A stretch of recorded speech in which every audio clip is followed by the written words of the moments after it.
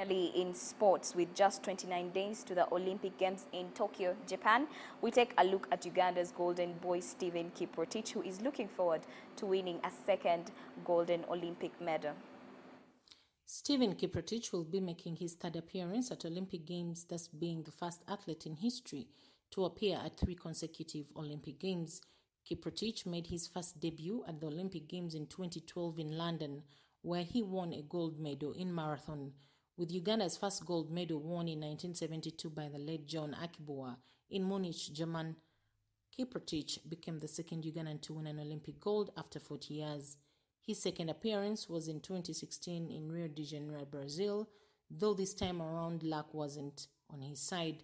He finished 14th, losing to Kenya's Eliud Kipchoge.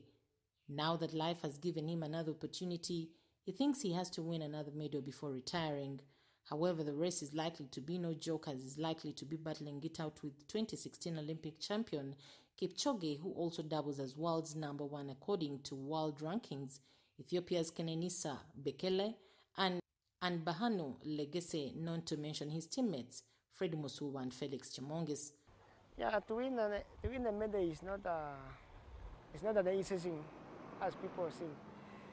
Uh, what it takes there is just like you know, you know, so many people wants to win a medal, and even me, I can still prove myself that I can, I can still win a medal, uh, seeing my health status now.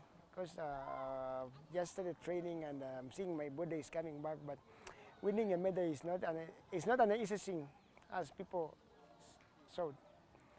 Me, I can still win medals, but it will be in history if I come back after after not winning uh, 2016 Olympics.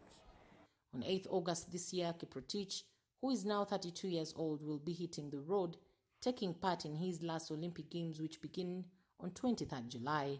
Uganda so far qualified 27 athletes to Olympic Games. 20 are from athletics, 3 boxers, 2 swimmers, 1 rower, and 1 weightlifter. Report compiled by Olivia Nakate for the news.